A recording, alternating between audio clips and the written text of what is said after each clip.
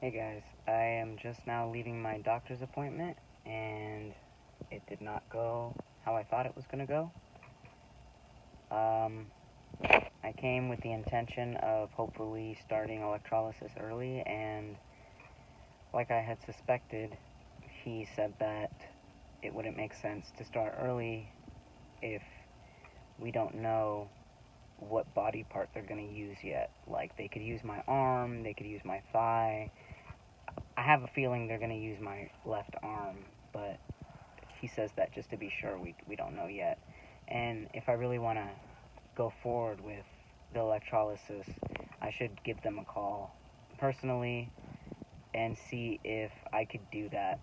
But as far as just starting it on my own, it wouldn't make sense. Which is which makes sense, but all I can think about are the complications and how I want to reduce them.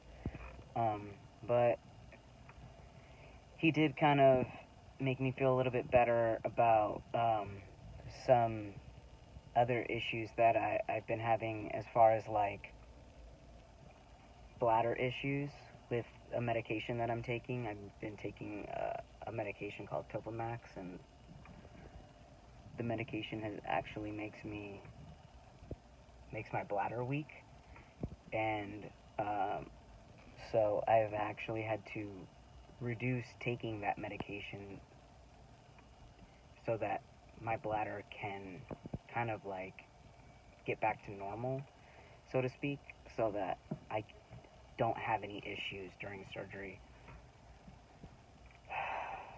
So, with that being said, I'm back to square one.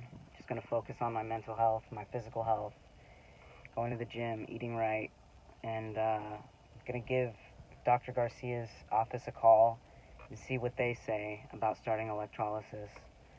They might end up saying the same thing, but it doesn't hurt to try.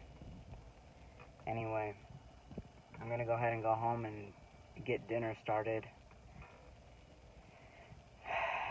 The other thing that they did at the doctor's appointment that I wasn't too happy about was they gave me a measles, mumps, and rubella vaccination.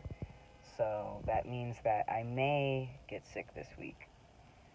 Yay. Have a good one, you guys. I'll talk to you later.